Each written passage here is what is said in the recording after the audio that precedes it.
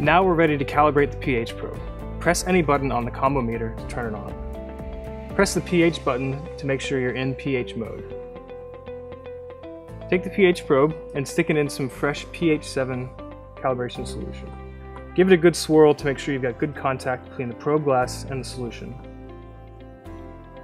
Press and hold the calibrate button until CAL displays on the combo meter screen, and then release your finger. You'll see a series of flashing symbols on the screen letting you know the calibration process is taking place. The pH7 calibration indicator will now appear on the display. You'll see the pH4 calibration indicator flashing letting you know it's time to calibrate in pH4 solution.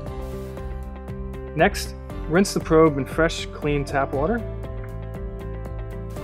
Next, place the probe in fresh pH4 calibration solution. Remember to give it a good swirl to ensure you've got good contact between the probe glass and the calibration solution. Wait for the reading to stabilize on the combo meter. Press and hold the calibrate button until CAL displays on the combo meter screen, and then release your finger. You'll see a series of flashing symbols again letting you know the pH4 calibration is taking place. When calibration is complete, you'll see the pH4 calibration indicator appear on the display. The calibration indicators will be on the display until it's time to calibrate again. Rinse the probe in fresh tap water. And you're all done calibrating the pH probe.